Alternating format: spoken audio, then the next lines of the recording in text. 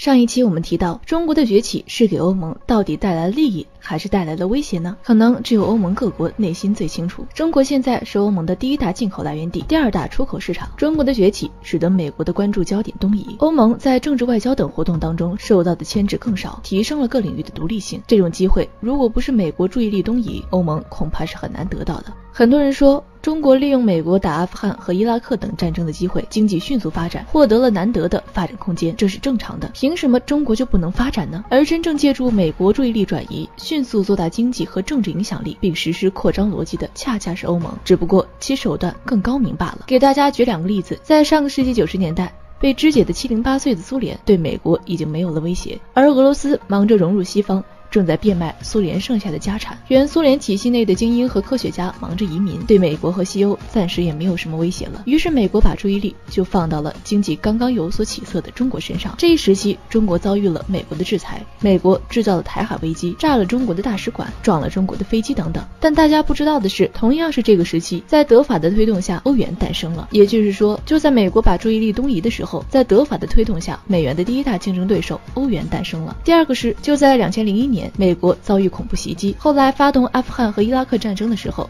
欧盟趁机迅速扩容，比如就在伊拉克战争打得正酣的时候，二零零四年加入欧盟的国家有十个。要知道，在此之前，欧盟所有的成员国也只有十六个。如此，美国三番五次的刺激波兰脱欧，对英国脱欧拍手叫好。那大家想想，如果当时美国不是忙于阿富汗和伊拉克战争，需要德法的支持，会眼睁睁的看着这么多国家加入欧盟吗？所以大家应该能看到，其实随着苏联的解体，美国依然需要德法，但德法已经不是很需要美国了，因为当大家的第一要务是发展经济。的时候，美国和德法就成了更明显的竞争对手。因此，苏联解体后，当美国把重点放到中国，德法就迅速退出了欧元。而且，为了打消美国的顾虑，法国在一九九二年主动再次加入北约。要知道，法国早在一九六六年就退出了北约，为何反而在苏联解体后主动加入呢？说白了，就是为了加速欧洲的一体化进程，同时麻痹一下美国。毕竟加入北约就意味着把安全问题交到美国手里了，显示了对美国的诚意。等到美国陷入阿富汗和伊拉克战争的时候，欧盟迅速扩大，把成员国一下子就增加了十个，而且欧盟不是盲目的扩张，欧盟对成员国制定了非常严苛的加入条件，并保证了新加入者的体量都比较小，更好管理。这意味着一旦加入。其实就失去了很多主权。欧盟在国际经济和贸易当中的影响力变大，德法在对外方面所拥有的将是整个欧盟的资源。就在这次美国把注意力再次转移到中国之后，德法在建立统一国防方面已经不再有所掩饰了。这种背景下，美国想让欧盟联合起来对付中国，恐怕最后被耍的将是美国。等德法逐步完成独立的国防体系，东欧国家突然会发现，美国能给的抵抗俄罗斯的安全资源，德法一样能给；而美国不能给的统一市场，德法同样能给。那个时候，东欧。国家抛弃的将不是德法，而是美国。欧盟可能会出现第三次扩容，同时完成在国防和财政等领域的整合，成为美国另一个强大对手。很多人还有一种说辞，认为美国和西欧同根同源，怎么说也是表兄弟。有这种想法的人就是不懂西方历史。从欧洲大陆到殖民地，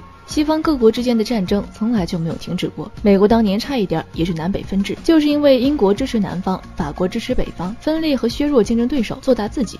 是欧洲政治永恒的主题。这里面不管对手是谁，难道德法对美国打击空客，肢解阿尔斯通，毁掉德意志银行，支持英国脱欧，鼓动波兰脱欧等等，都无动于衷？错了，德法只是压住了怒火。我们再来说一下英国。英国现在的第一要务是什么呢？我们认为英国的第一要务是防止被德法整合到欧盟体系，所以脱欧应该是英国的第一要务。那英国的第二要务是什么呢？由于脱欧是第一要务，那就要把脱欧的影响降到最低。所以英国的第二要务就是加强跟欧盟之外的其他国家的关系，尤其是跟美国的关系。那应对中国崛起是不是英国的其中一个政治任务呢？其实恰恰相反，英国这个时候最需要的是其他贸易伙伴。除了美国，中中国对英国十分重要。但既然重要性里面，美国排第一，而美国又正在打压中国，那英国当然是选美国。所以，英国跟着美国刺激中国，很大的原因就是为了站队而站队，象征意义大于实质意义，口号大于实际行动。可能很多人会觉得，英国最后也拒绝使用华为了，但这其中的原因，并不是英国对华态度发生了本质转变，而是拒绝使用华为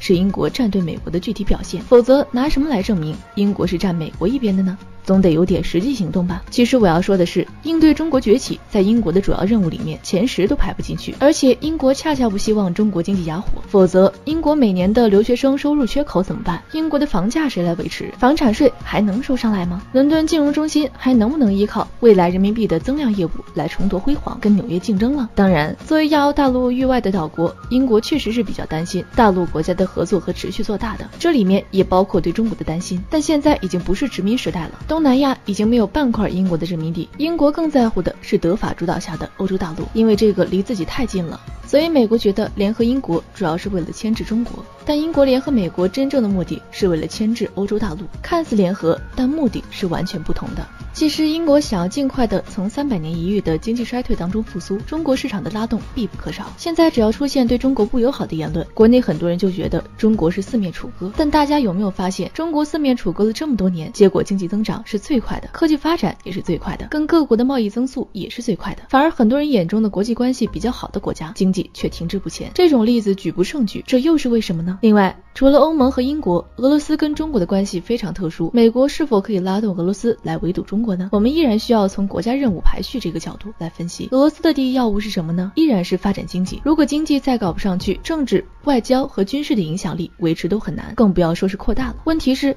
美国能帮助俄罗斯经济复苏吗？事实是，美俄两国在经济层面是竞争关系，比如能源、军工和农业出口，美国和俄罗斯都是直接的竞争对手。美国如何帮助俄罗斯完成发展经济的任务呢？是跑去俄罗斯建个工厂？开玩笑，俄罗斯整个国家的消费总额还不到中国广东一个省的百分之七十。对于欧美高附加值产品而言，俄罗斯的市场规模和劳动力根本就无法支撑其销售和生产。所以，纵观全球，能帮助俄罗斯经济复苏的只有中国。也许欧洲会有一定帮助，但欧洲从政治层面对俄罗斯的排斥，以及美国对俄欧能源合作等的反对，会使得俄罗斯不会特别热衷于跟欧盟的经济合作。那中国崛起。对于俄罗斯意味着什么呢？当然，对于俄罗斯来说，肯定是有很多不舒服在里面的，嫉妒之心肯定是有的。但问题的关键点在于，此前对于美国这样强大的国家，并一直视俄罗斯为眼中钉、肉中刺，都拿俄罗斯没办法。中国难道真能威胁到俄罗斯吗？所以俄罗斯很快会想明白，中国再强大，也没有美国强大，更没有美国那样对俄罗斯充满根深蒂固的敌意。美国都不能把俄罗斯怎么样，中国会主动去威胁俄罗斯吗？当然不会。所以。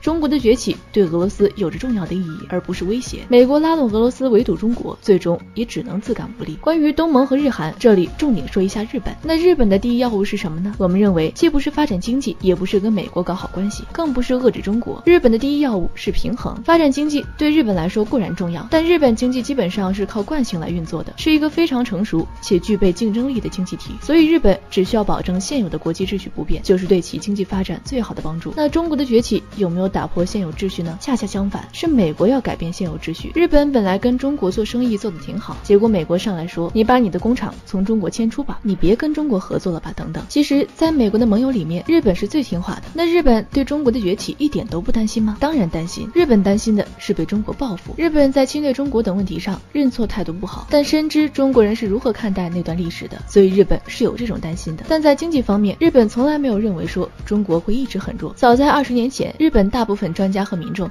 就已经认为中国经济一定会超过日本，但是后来他们没想到超越的这么快。所以其实只要中国和日本都以经济建设为中心，日本从本质上来说不会跟着美国硬刚中国。但由于日本从主观和客观的角度目前依然无法摆脱美国的影响，所以日本需要平衡，也就是在美国最在意的地方跟中国对着干，但只要在美国不关注的地方，一定是寻求跟中国合作的。同时，日本的问题也跟东盟各国和韩国的问题类似，因为从几千年的历史来看，周边国家都习惯了一个强。大的中国，只要在国力上中国比日本强大，日本主动挑衅中国的可能性不大。当年日本是看看到了一八四零年开始的鸦片战争，中国清政府每次都是输给西方列强，才敢跟中国打中日甲午战争的。中国输了之后签协议，日本都要求清政府不能使用中国这个名字，认为一败涂地的清政府是给中国文化和黄种人丢脸。所以从日本的历史来看，早已习惯于一个强大的中国，而不是衰败的中国。中国的崛起引发的周边国家的注意，跟欧洲各国面对某个单一国家崛起的逻辑完全是不一样的。比如在欧洲，如果德国强大了，大家就联合起来对付德国；如果法国强大了，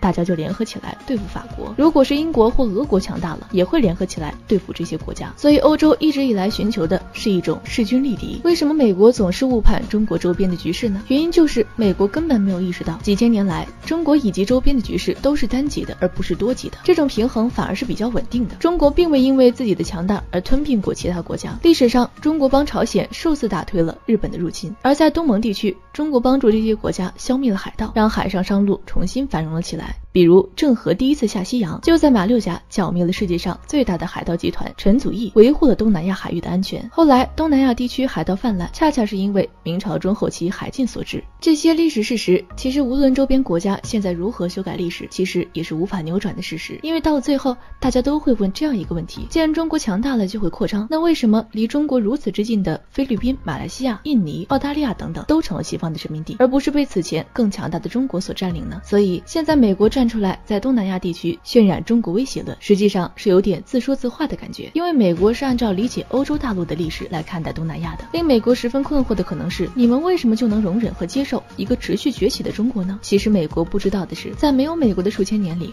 人家就已经接受了一个比自己强大几十倍的中国，而且是和平相处了数千年。你现在天天要站出来说中国是威胁，说一两次可能管用，但说的久了，大家反过来会质疑你的目的。所以。包括日本在内，中国周边的东南亚国家很难从你死我活的这个角度跟着美国围堵中国，因为这些国家的第一要务根本就不是什么应对中国的崛起，而是如何在跟中国的贸易当中获得更多利益。我觉得蓬佩奥之流可以来参观一下中国正在发掘的南海一号沉船，该船一九八七年在广东省台山市海域被发现了，距今已经八百多年，是迄今为止世界上发现的海上沉船中年代最早、船体最大、保存最完整的远洋贸易商船。船上已经发掘出来的文物。多达十八万件，包括瓷器、钱币、丝绸、金银铜锡、竹木漆器以及动植物遗存等等，足以反映出当时中国国力之强盛，跟东南亚贸易之紧密，以及海上丝绸之路之繁荣。请注意，这是八百多年前，整个欧洲还处在野蛮的十字军东征时代，而两百多年后，哥伦布才发现了美洲大陆，更不要说美国那时在哪儿了。未来随着中国经济影响力的扩大，美国跟中国国防实力的逐步接近，东南亚国家逐步会明白，美国既不能给他们带来绝对的国防安全，也无法带来更大的。经济利益，这个时候中国的友善和贸易辐射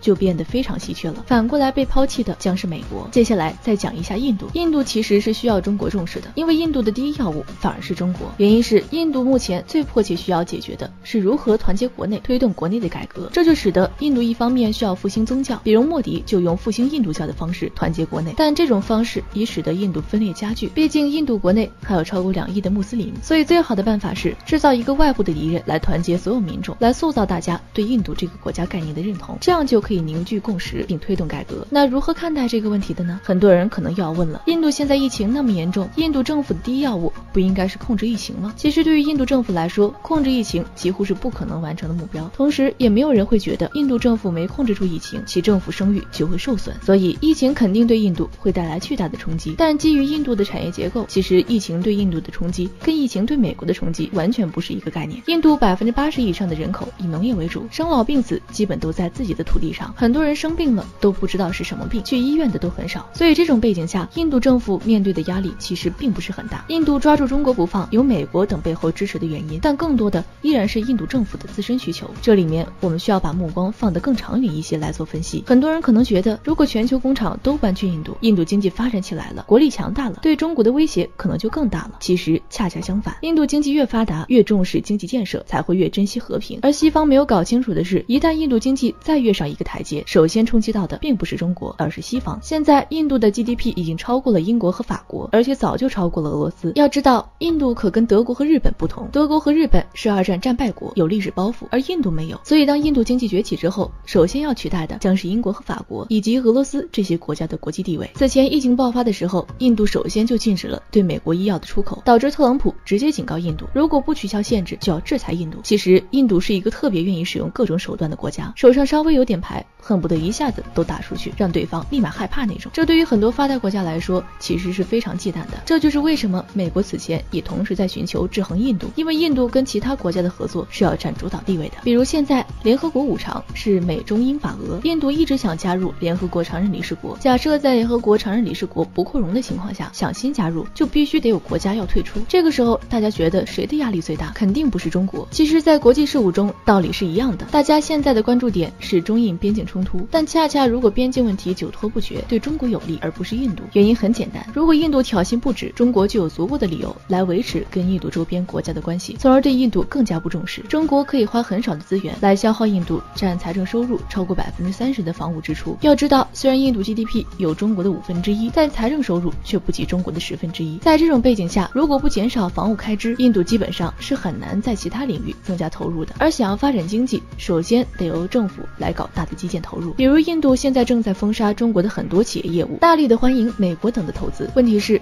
如果全球很多产品去印度生产，我们暂不讨论什么土地、工厂、电力、道路、劳动力等等问题，就算能生产出来，你总得有足够规模的港口来运送到全球各地吧？按照目前印度港口的吞吐能力，整个前十大港口的年吞吐量只有七亿吨。要知道，中国排名第三的唐山港一家，其吞吐量就相当于整个印度港口吞吐量的总和。印度吞吐量最大的根德拉港和孟买港。在中国都排不进前三十，请注意，中国对港口等基建体系的投资还远没有结束。那我们要表达一个什么观点呢？那就是美国等越是怂恿印度跟中国对抗，印度就越无法削弱中国，其更多的财政收入就不会投入到港口等基建领域，对外贸易的扩展难度就更大，印度的战略性发展就会越停滞，印度跟中国的整个基础设施差距就越大，国际市场对中国的依赖反而就越大。从更长远的角度看，当印度开始寻求大国地位，其实印度的主要任务就不再是跟中国的边境摩。擦问题，因为印度最终会明白，不可能通过打败中国来获得国际地位。印度没有一个政治家敢冒这种风险，所以印度一定会寻求取代现有一些大国的国际地位，来寻求自己的地位。到那时，最紧张的肯定不是中国。所以，对于中国和印度的问题，我觉得中国只要保证足够的军事防御和威慑能力，然后顺其自然就好。域外的任何操作都很难在印度问题上达到削弱中国的目的，最后一定是适得其反。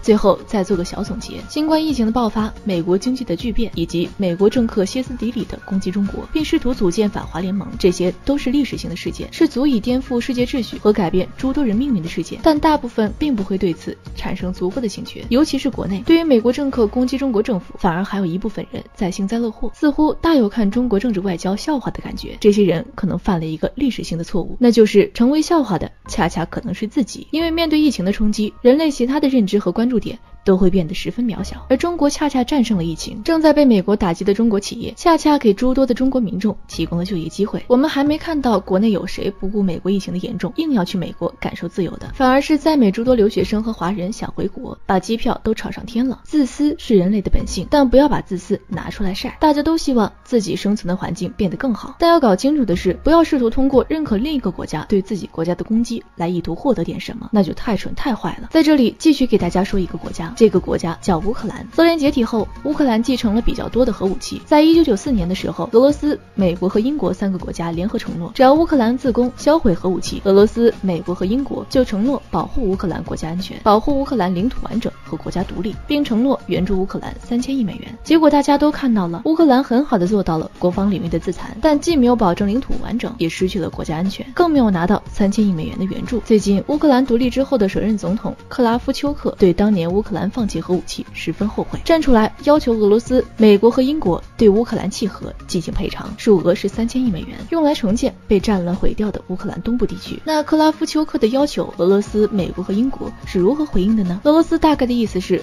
门儿都没有，你一边凉快去。英国和美国呢，装啥都没听见啊？你说啥？听不清啊？你是个坏孩子。很多人觉得，只要中国放弃核心利益，不发展国防，或者按照美国的要求改造，中国就能获得更好的国际环境，民众就会安居乐业。这这种。想法我不敢说是小孩子智商，但可以肯定的是，如果中国按照美国的想法，放弃国防建设，放弃自己摸索出来的道路，美国可以瞬间让中国变成比中东还要恐怖的四战之地。因为中国太大，没有哪个国家能吞得下，只能被瓜分和肢解。如果你真相信美国有那么强大的改造能力，那我一直在问的一个问题是，为啥美国旁边的墨西哥跟美国人的收入差距十倍都不止呢？难道美国对中国人的爱超过对墨西哥这个邻居的爱？别傻了。